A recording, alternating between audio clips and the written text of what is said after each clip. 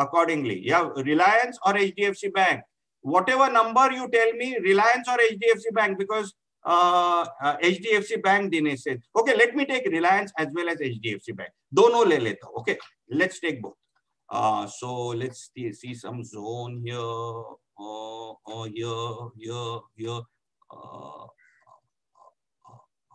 no, no. Okay, okay, okay. Uh, okay, what is this zone? Does it look like a demand zone or a supply zone? This zone. Now, now you tell me whether this is a demand zone or a supply zone. Okay, demand zone. No, this is ITC. So let's convert ITC into Reliance. So I'm trying to take ITC only. Let's take Reliance.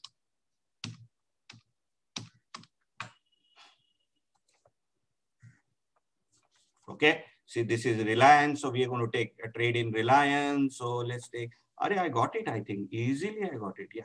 Oh, here I got it. Yes. Yes. What does this zone looks like? A demand zone or a supply zone? Now, now, here, this zone. Everybody try demand zone or a supply zone. Come on, we are going to take this trade now.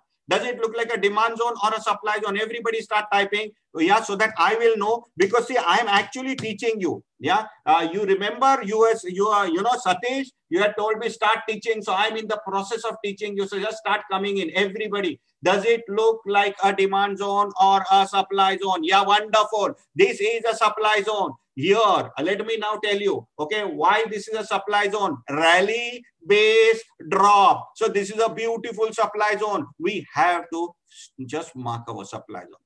Follow a simple process. So we have marked our supply zone.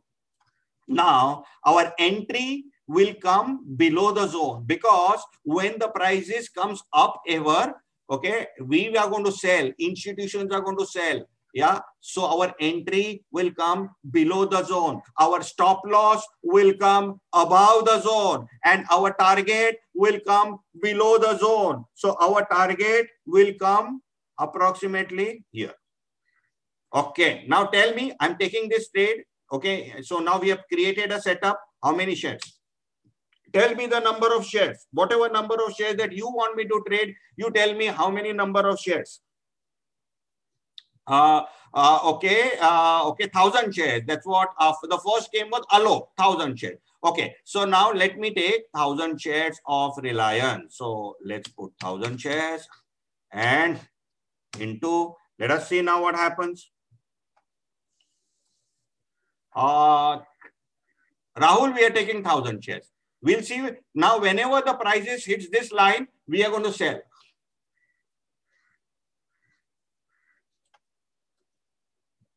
Yes, prices have gone into the zone. And as soon as the prices have gone into the zone, we have sold 1,000 shares of Reliance. From now here, there are two possibilities. Prices could continue to go and hit this line.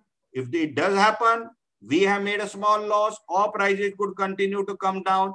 We have made a large profit in case prices hits the target line. Let us see. This is day one. We have sold 1,000 shares of Reliance. This is tick by tick movement. This is day two. So we are going on to the second day. Yeah, already now we have crossed one day and prices are still there. This is day three. Prices are not cracking up. Don't worry about it. We have our uh, line, stop loss line. Again, prices have gone in. This is day four. They are still not coming down. There is no major selling still started of institution. Yeah, and this is day five. So day five, again, they are in the same lane. Now day six, that the, the fall has started. Yeah, now day seven, it has intensified. And day seven, our target is hit. So we sold here, we bought here. Yeah, and that means we have made large profit. We sold at 2002. We have bought at 1920. That means we made nearly 80 rupees per share as profit in eight days. Now 1000 into 80 means we made 80,000 rupees by holding the position for approximately, yeah, for approximately eight days. Similarly, Chandrasekhar at type 150 shares. Remember, Rahul at type 1,500 shares. Chirag, yeah, Alo, Chirag at type 100 shares. Just calculate whatever you said, how much profit. It's not about 80,000 uh, uh, uh profit. If you would have taken 100 shares, you would have made 8,000 in eight days. If you would have made uh, uh,